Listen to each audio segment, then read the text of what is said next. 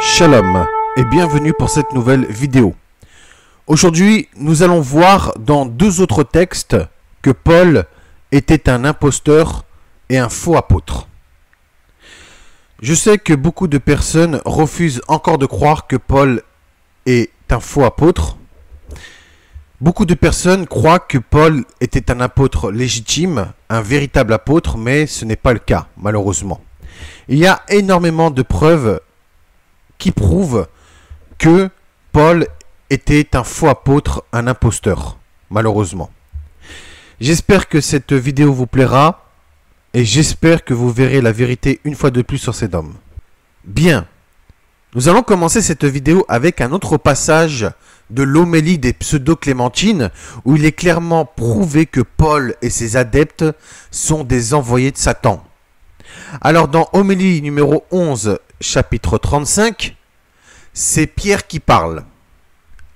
Il est écrit Notre Seigneur est prophète, donc Yeshua, qui nous a envoyés, donc Yeshua qui a envoyé ses disciples, nous a déclaré que le malin, donc Satan, ayant disputé avec lui 40 jours dans le désert et n'ayant rien vaincu contre lui, a promis qu'il enverrait des apôtres parmi ses sujets pour tromper.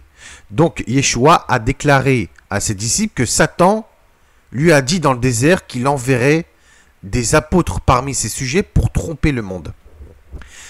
C'est pourquoi, par-dessus tout, souvenez-vous d'éviter l'apôtre, l'enseignant ou le prophète qui ne compare pas d'abord avec précision sa prédication à celle de Jacques, qui a été appelé le frère de Monseigneur, et à qui il a été confié d'administrer l'église des Hébreux à Jérusalem.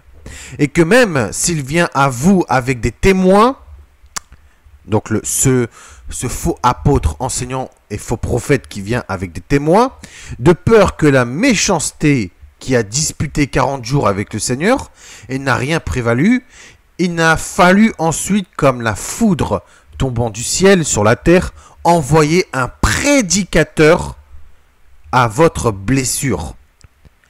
Comme maintenant, il a envoyé Simon sur nous, prêchant sous prétexte de la vérité au nom du Seigneur et semant l'erreur.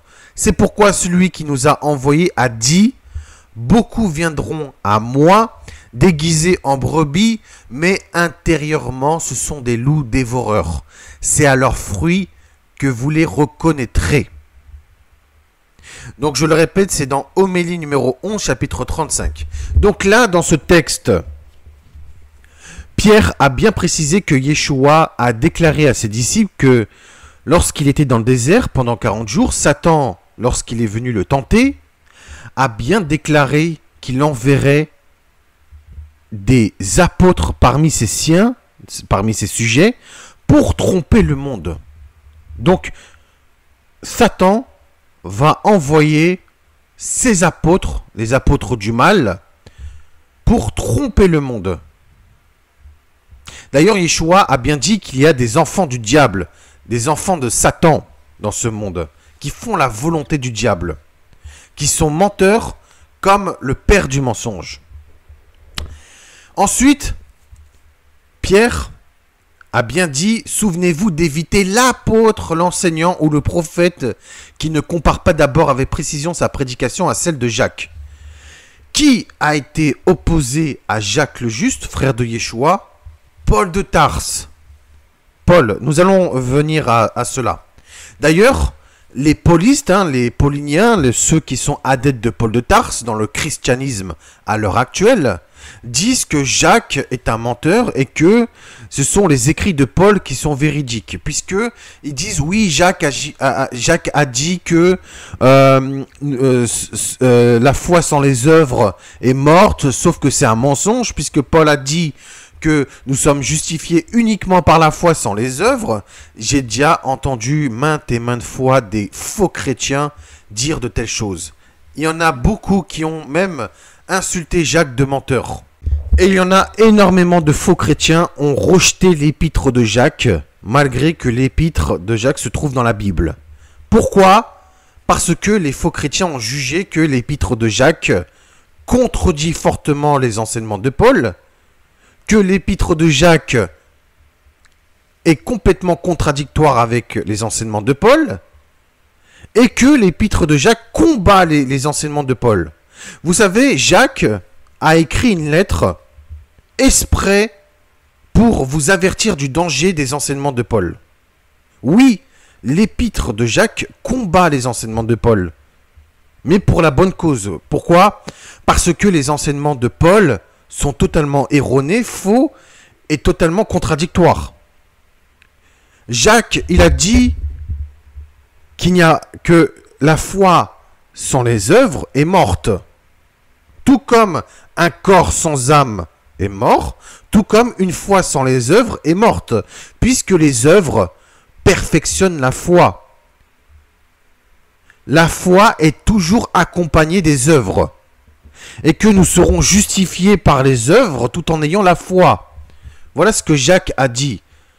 Parce que Paul a dit que si vous avez la foi seulement, sans les œuvres, sans faire de bonnes actions ou de bonnes œuvres, vous irez directement au paradis après votre mort. C'est totalement faux. Même Paul a dit que l'impie, celui qui commet des injustices, de l'iniquité, qui connaît d'énormes péchés, mais qu'il a la foi, eh bien, il sera sauvé parce qu'il a eu la foi. Et il ira au paradis. Voilà ce que c'est les enseignements de Paul. Vous pouvez faire tout et n'importe quoi dans cette vie, tant que vous ayez la foi, vous irez au paradis et vous serez justifié. Voilà ce que c'est les enseignements de Paul. Sauf que c'est un, un, mensonge total. Paul a dit que la loi est abolie, que les bonnes œuvres ne servent à rien, parce que c'est la foi uniquement et la grâce qui sauve. Sauf que Yeshua a dit que celui qui ne fait pas la volonté du Père n'entrera pas dans le royaume des cieux. Celui qui n'observe pas les commandements du Père, qui n'entre pas dans les alliances du Père, qui ne fait pas ce que le Père désire, il n'entrera pas dans le royaume des cieux. Celui qui rejette les commandements, les alliances, et qui rejette la volonté du Père, n'ira pas au paradis, au royaume des cieux.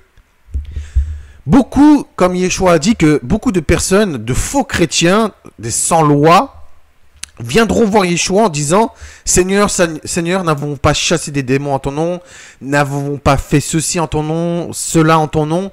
Mais Yeshua dira Retirez-vous de moi, vous qui commettez l'iniquité. Iniquité veut dire aussi celui qui est sans loi, celui qui, qui n'accomplit pas la loi. Et Paul a dit que vous serez justifiés non pas par les œuvres de la loi, mais uniquement par la foi. Or, Yeshua a bien dit que la volonté du Père doit être accomplie. Donc, c'est-à-dire entrer dans, dans, dans, ses alliances, la circoncision, etc. Observer les commandements de la loi, des dix commandements, faire de bonnes actions et faire la volonté du Père. Et celui qui fait tout cela, qui observe les commandements, qui entre dans les alliances de l'Éternel, qui fait de bonnes actions, tout en ayant la foi, entrera au paradis, au royaume des cieux. Dans l'Apocalypse, il est écrit que les élus seront ceux qui auront gardé les commandements de l'Éternel et les alliances également, tout en, ayant la foi en Yeshua. Ce que Paul contredit tout cela, puisque Paul dit que non, ce n'est pas par les œuvres de la loi, donc les commandements et les bonnes actions sont disqualifiés. Ce n'est pas par les œuvres que nous serons justifiés, mais par la foi uniquement. Or, Yeshua, tout comme Jacques et les prophètes, ont bien précisé que celui qui sera justifié auprès de Dieu, c'est celui qui aura fait des œuvres tout en ayant la foi. Donc c'est pour ça que de nombreux chrétiens, des faux chrétiens paulistes, rejettent l'épître de Jacques puisque l'épître de Jacques combat les enseignements de Paul et que l'épître de Jacques a été donné pour rétablir toute vérité et pour avertir sur les enseignements de Paul. Donc revenons à notre texte des homélies. Hein. Euh, il est bien précisé que euh, il y aura un prédicateur qui viendra à votre blessure, qui prêche sous prétexte de la vérité au nom du Seigneur, et semant l'erreur. Qui est venu au nom du Seigneur? Prêcher l'erreur Paul de Tarse tout simplement. Et Pierre a dit, c'est pourquoi celui qui nous a envoyé a dit, beaucoup viendront à moi déguisés en brebis, mais intérieurement ce sont des loups dévoreurs. C'est à leurs fruits que vous les reconnaîtrez. Donc là, on voit bien que dans ce texte, Satan a promis d'envoyer ses apôtres à ces sujets, parmi ces sujets, pour tromper, qu'il y aura un apôtre enseignant ou prophète à éviter, et qu'il y aura également des faux apôtres, des faux enseignements et des faux prophètes à éviter, qui ne comparent pas leur prédication à celle de Jacques. Beaucoup de faux chrétiens s'opposent à Jacques. Leur prédication euh, se base sur Paul de Tarse et non sur Jacques. Donc, ils s'opposent à Jacques. Et là, Pierre, dans ce texte, a bien dit que beaucoup de personnes, des faux apôtres, des enseignements ou des faux prophètes, des faux enseignants, viendront euh, pour, euh, pour combattre ce que Jacques a prédit. Donc la prédication de Jacques. Et qu'on doit éviter de telles personnes. Et que ces personnes viendront avec des témoins. Paul est venu souvent avec des témoins avec lui, souvent des témoins païens. Et des, euh, des personnes qui, qui étaient avec lui. Hein, des personnes converties, des juifs circoncis ou quoi que ce soit, qui croyaient aux paroles de Paul de Tarse. Et en plus, il a dit, Pierre, de peur que la méchanceté qui a disputé 40 jours avec le Seigneur et n'a rien prévalu, il n'a fallu ensuite, comme la foudre tombant du ciel sur la terre, envoyer un prédicateur à votre blessure, prêchant sous prétexte de la vérité au nom du Seigneur et semant l'erreur. Là, on voit clairement que ce passage fait référence à Paul de Tarse et à ses adeptes.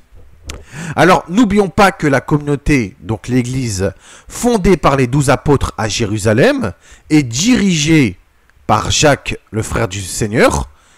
Donc, c'est l'Église des Hébreux à Jérusalem, disparue en l'an 69 ou 70, et elle fut remplacée par l'Église des nations païennes fondée par Paul et Barnabé à Antioche quelques années auparavant.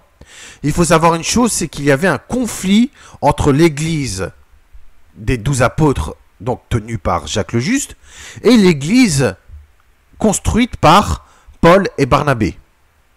Voilà. Il y avait un, très grand conflit. L'église de Judée, rassemblée à Jérusalem autour de Jacques le Juste, subit des persécutions et disparut complètement lors du soulèvement des Juifs contre les Romains. La guerre des Juifs se solda en l'an 70 par un terrible massacre, la destruction de Jérusalem et, de son temple. La prophétie aurait été écrite par Jean pour avertir les disciples et leur enjoindre de quitter la place. La famille et les disciples de Yeshua échappèrent ainsi à l'Apocalypse et s'enfuirent. Ensuite, sur l'emplacement de la cité sainte, donc à Jérusalem, les Romains construisirent une nouvelle ville qui fut nommée Aelia. Et dès la fondation d'Aelia, c'est l'église de Paul de Tarse qui remplaça la première église, celle des apôtres tenue par Jacques le Juste, et elle est appelée par les historiens, l'église de Paul, l'église des nations païennes ou grande église. La petite église, celle de Judée, malheureusement a disparu. On voit bien que le paganisme romain, donc le christianisme créé par Paul de Tarse et par Nabé, à Antioche continue d'exister. Et que malheureusement dans le monde entier, il y a des adeptes de Paul de Tarse partout dans le monde entier et dans toutes les églises. Donc là, dans le texte de l'homélie numéro 11, chapitre 35, euh, Pierre admet donc que euh, qu'il y a bien des faux apôtres, des faux enseignements, des, des faux enseignants, pardon, et des faux prophètes. Cela concorde bien sur le fait que Jean a déclaré qu'il y a un antichrist et des antichrists qui sont venus dans le monde et n'étaient pas des nôtres, donc des ennemis des véritables apôtres. 1 Jean chapitre 2 verset 18. Il y a un antichrist qui est venu dans le monde et maintenant il y a des antichrists qui sont venus dans ce monde et ils n'étaient pas des nôtres. Ils sont venus pour séduire et tromper un maximum de personnes, donc Paul et ses adeptes. Pierre déclare qu'il faut éviter ces apôtres, ces enseignements, enseignants ou faux prophètes, qui s'opposent aux paroles de Jacques, ce que Paul a fait à plusieurs reprises. Et que, malheureusement, ce faux apôtre enseignant ou faux prophète viendrait avec des témoins pour égarer un maximum au nom du Seigneur Yeshua. Ce que Paul l'a fait à plusieurs reprises dans ses écrits et enseignements, qu'il est venu au nom de Yeshua, qu'il a fait des signes et des prodiges, et qu'il a séduit un maximum de personnes. Ce que Yeshua a dit, hein, que des faux prophètes, des faux Christ viendront en son nom et feront des prodiges et des miracles pour séduire un maximum de personnes et même s'il est possible des élus. Ne le suivez pas. Yeshua nous a bien dit d'être plus prudent que des, serpents. D'être plus prudent que des serpents, puisque tout simplement le serpent est prudent. Nous devons être prudents. Alors, euh, c'est écrit dans Matthieu chapitre 10, verset 16. Yeshua dit Voici, je vous envoie comme des brebis au milieu des loups. Soyez donc prudents comme des serpents et simples comme les colombes. Donc Yeshua avait bien averti ses disciples qu'il y aurait des loups déguisés en brebis. Et Yeshua avait préparé ses disciples à, à la venue de, de loups déguisés en brebis, qui viendront en son nom. Voilà. Et c'est pour cela que nous, en tant que brebis, nous devons nous méfier des loups qui sont les enseignements de Paul et ses adeptes. Les adeptes de Paul qui prêchent la doctrine de Paul. Voilà, on doit se méfier. Ceux qui prêchent la doctrine de Paul sont malheureusement de faux chrétiens. Alors, Jacques avait dénoncé Paul à plusieurs reprises, puisque Paul prêchait contre la loi de Dieu, enseigna aux Juifs et aux païens de ne plus circoncire leurs enfants, et d'abandonner Moïse. Acte chapitre 21, versets 20 à 22. Jacques avait ordonné qu'on ne mange pas de viande sacrifiée aux idoles, qu'on s'abstient de sang, de souillure, d'impudicité ou quoi que ce soit, d'idolâtrie aussi. Acte chapitre 15, verset 20. Acte chapitre 15, verset 29. Et Acte chapitre 21, verset 25. Il avait donné euh, ses ordres aux païens qui avaient cru. Voilà, c'était des, commandements de base à ceux qui s'étaient convertis. Euh, histoire de, bien commencer. Voilà. Ensuite, ceux qui ont cru et qui se sont convertis à Yeshua tout en gardant les alliances de l'Éternel et les commandements de l'Éternel devaient ensuite observer la loi. Donc les, euh, commandements que Jacques a donnés de s'abstenir de viande sacrifiée aux idoles, de, de souillure, d'impudicité, d'idolâtrie, ce sont des commandements de base pour apprendre aux païens euh, les commandements du Père. Et ensuite, les inviter à, se faire circoncire, etc. Voilà. Donc c'était ce sont des commandements de base. Sauf que euh, Paul a prêché le contraire. Jacques, lui, était en concordance avec les paroles de Yeshua, puisque Yeshua lui-même a interdit de faire de telles choses, donc de, de manger de telles viandes qui sont des pierres d'achoppement devant les fils d'Israël. Apocalypse chapitre 2, verset 14, Apocalypse chapitre 2, verset 20. Mais Paul, lui, au contraire, contredit Jacques et Yeshua et a même autorisé à manger de telles viandes, même à toute nourriture qui se trouve dans le marché, sans acquérir de motifs de conscience ou je ne sais quoi, et accuse ceux qui dénoncent cette pratique, donc de manger des viandes sacrifiées aux idoles, d'avoir une conscience faible et souillée et d'être des pierres d'achoppement pour ceux qui sont libres de conscience. 1 Corinthiens chapitre 8 verset 4 à 9, Yeshua a dit que ceux qu'ils autorisent des viandes, à manger des viandes sacrifiées aux idoles sont des pierres d'achoppement devant les fils d'Israël, Paul dit le contraire et dit que ceux qui disent que euh, ceux qui mangent des viandes sacrifiées aux idoles, eh ben, sont tout simplement des, des faibles qui ont une conscience faible et souillée. Donc, Paul insulte Yeshua et Jacques d'avoir une conscience faible et souillée, puisque Jacques et Yeshua ont interdit de telles choses et ils ont défendu de faire de telles choses, puisque Yeshua en a horreur. Donc, vous voyez, on voit bien que Yeshua a gardé son peuple Israël, puisqu'il a dit que de telles personnes comme Paul sont des pierres d'achoppement pour les fils d'Israël. Tandis que Paul, lui, c'est carrément le, paganisme avec les païens, puisqu'il a dit que Jacques et Yeshua et ceux qui euh, dénonce la pratique de manger des viandes sacrifiées aux idoles ont une conscience faible et souillée et qui sont eux-mêmes des pierres d'achoppement pour ceux qui sont libres de conscience. Donc on voit bien euh, l'idéologie de Paul qui est tout simplement païenne. Jacques, tout comme Yeshua, ont l'esprit des Hébreux, l'esprit des prophètes, puisque le Dieu d'Israël est le Dieu d'Abraham, d'Isaac et de Jacob, donc le Dieu d'Israël, et non le Dieu des Romains. Paul a, avait en lui l'esprit des Romains. Les faux chrétiens qui suivent Paul ont l'esprit des Romains, et non pas l'esprit des Hébreux, puisque eux-mêmes rejettent la loi et les commandements du Père.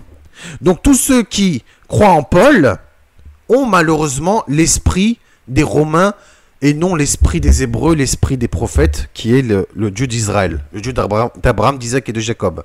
Puisque les faux chrétiens rejettent la loi de l'Éternel, rejettent ses alliances comme la circoncision, et rejettent tout ce que l'Éternel a ordonné, que ce soit dans la loi de Moïse et dans les prophètes. Donc, on voit bien qu'il y a une guerre entre l'esprit des Romains et l'esprit des Hébreux. Si vous voulez être un véritable chrétien, allez vers l'esprit des Hébreux, l'esprit qui est le même que celui des prophètes, tout simplement le Dieu d'Abraham, d'Isaac et de Jacob. Là, pour l'instant, les chrétiens sont avec l'esprit des Romains, puisqu'ils fêtent non pas le Shabbat le samedi, mais le jour du soleil le dimanche, puisqu'ils disent que le dimanche est le jour du Seigneur, hein, Sol Invictus, ils fêtent Noël, ils font des trucs euh, totalement païens. Donc on voit bien qu'ils n'ont pas l'esprit des Hébreux puisqu'ils ont l'esprit des Romains.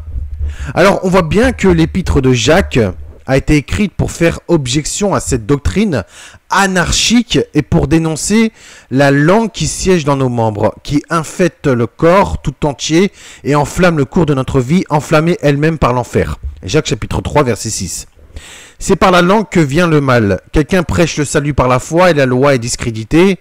Cette doctrine néglige les œuvres, celle de Paul, l'observance des commandements et des alliances de Dieu, dictée à Moïse, est complètement rejetée par la doctrine de Paul. Cette langue perfide, c'est bien évidemment Paul de Tarse.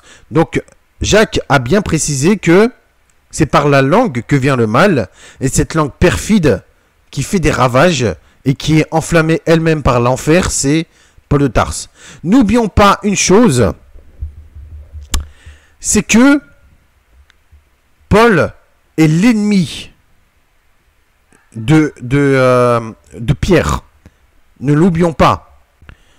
Puisque Pierre appelle mon ennemi, donc Paul lui-même, qui prêche, Paul, une doctrine anarchique absurde basée sur la dissolution de la Torah et que les païens ont rejeté la prédication légitime de Pierre et ont suivi la doctrine anarchique de l'ennemi de Pierre qui est, Paul de Tarse, comme nous retrouvons dans la préface des Homélies Clémentine chapitre 2. N'oublions pas que Paul est l'apôtre des païens et que Paul a l'esprit des Romains et l'esprit des païens en lui. Alors d'ailleurs, il y a aussi un texte parmi les sept manuscrits originaux de la mer morte que nous trouvons une chose très intéressante. Dans le pécheur Habakkuk, il est écrit Ceux qui étaient infidèles avec le menteur, qui n'ont pas écouté la parole reçue par le juste maître de la bouche de Dieu, qui étaient silencieux au moment du châtiment du juste maître, et ne l'ont pas aidé contre le menteur, qui a rejeté la loi au milieu de toute leur assemblée, ont été infidèles dans la nouvelle alliance en ce sens, qui n'ont pas cru en l'alliance de Dieu et ont profané son saint nom. Péchère Habakkuk chapitre 2. Là, dans ce texte, nous voyons qu'il y a un message urgent, un avertissement pour ceux qui ont rejeté l'alliance de Dieu et qui ont profané son saint nom. Puisque, regardez ce qui est écrit, que le menteur qui n'a pas écouté la parole reçue par le juste maître de la bouche de Dieu, donc celui qui a reçu, qui n'a pas reçu la parole de Yeshua, qui est le juste maître que lui-même disait la parole de Dieu, et qui étaient silencieux, toutes ces personnes qui ont suivi ce menteur, sont restés silencieux au moment du châtiment du juste, du juste maître, et ne l'ont pas aidé contre le menteur, que le menteur a rejeté la loi au milieu de toute leur assemblée. Qui a rejeté la loi au milieu de toute l'assemblée Paul de Tarse. Il a même rejeté la loi à Antioche devant les disciples devant les juifs et les païens. Même à Jérusalem devant Jacques le Juste. Partout, le menteur Paul a rejeté la loi. et que ce menteur et tous les infidèles qui ont suivi ce menteur ont été infidèles dans la nouvelle alliance, en ce sens, puisqu'ils n'ont pas cru en l'alliance de l'Éternel, donc les premières alliances que eux-mêmes appellent Ancien Testament, et ils ont profané son saint nom. Les chrétiens qui suivent les enseignements de Paul sont infidèles dans la nouvelle alliance parce qu'ils n'ont pas fait les œuvres. Ils n'ont pas fait les œuvres du Père. Et eux-mêmes ont aboli les premières alliances en disant qu'elles sont vieilles et prêtes à disparaître, et que maintenant c'est l'Ancien Testament, car le Christ a aboli la loi, les alliances de Dieu, comme la circoncision, etc. Or, c'est totalement faux. Yeshua n'a jamais aboli la Torah, les prophètes, les alliances et les commandements du Père, et n'a jamais aboli la circoncision. La nouvelle alliance est la continuité des premières alliances et non la fin. Elle est synonyme de la nouvelle création par le rachat de Yeshua, qui est venu confirmer, racheter et continuer les alliances de Dieu. On n'appelle pas Ancien Testament, on, on appelle plutôt les alliances renouvelées. Puisque les premières alliances et la nouvelle alliance sont les alliances renouvelées et non anciennes et vieilles. Donc, Yeshua est venu racheter, confirmer et continuer les alliances de l'Éternel à travers la nouvelle alliance et il n'est pas venu mettre une fin définitive. Car si les premières alliances sont abolies, comme les chrétiens le disent, comme Paul le dit, alors les prophéties, le sacrifice de Yeshua, les commandements et les alliances de Dieu tels sont écrits dans la Torah et les prophètes sont donc abolis. Or, ce n'est pas le cas puisque Yeshua n'est pas venu pour fonder une nouvelle religion, il n'est pas venu pour abolir les premières alliances, donc également les prophéties et son sacrifice, hein, mais il est venu pour rétablir l'ancienne, la vraie, apportée aux Hébreux par Moïse et les prophètes. Il est venu perfectionner les alliances, les premières alliances. Il est venu perfectionner, continuer il est venu pour faire en sorte que les juifs et les non-juifs ne fassent qu'un seul peuple et que eux tous observent les alliances et les commandements du Père. La nouvelle alliance ne peut pas exister sans les œuvres. La nouvelle alliance n'est pas venue pour abolir les premières alliances. Non, elle est venue pour continuer. La nouvelle alliance, c'est la continuité des premières alliances et non la fin. On appelle donc alliance renouvelée et non ancienne alliance. Ancien testament. D'ailleurs, le terme testament n'est pas bon puisque testament se réfère à un mort. Or, Yeshua a dit que l'Éternel est le Dieu des vivants et n'est pas le Dieu des morts. Donc voilà, c'est plutôt alliance renouvelée puisque les premières alliances et la nouvelle alliance sont renouvelées à travers le sacrifice de Yeshua. Jacques hein, enseigne que la foi sans les œuvres sont mortes, qu'elle est morte, la foi sans les œuvres. La foi sans les œuvres est en réalité la définition même de l'infidélité et de la rébellion contre Dieu une foi sans les œuvres et de l'infidélité de la rébellion contre Dieu.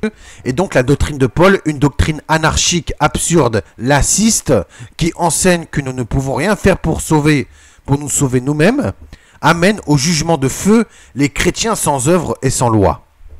Voilà. Donc c'est pour ça que les chrétiens rejettent l'épître de Jacques, puisque l'épître de Jacques combat fortement les enseignements de Paul. Donc, ceux qui rejettent les alliances de l'Éternel, la Torah de l'Éternel, ceux qui rejettent les premières alliances, qui sont renouvelées à travers la nouvelle alliance, iront au jugement du feu, tout simplement. Parce qu'ils auront coupé le lien entre eux et l'Éternel. Les alliances avec Abraham, Isaac, Jacob, Moïse, les prophètes, jusqu'à Yeshua sont toujours d'actualité. Si vous ne croyez pas en ces alliances et que vous dites qu'ils sont vieilles, abolies et qui n'existent plus, vous coupez le lien et vous n'aurez pas le royaume des cieux. Aussi simple que cela. Bien, c'est la fin de cette vidéo.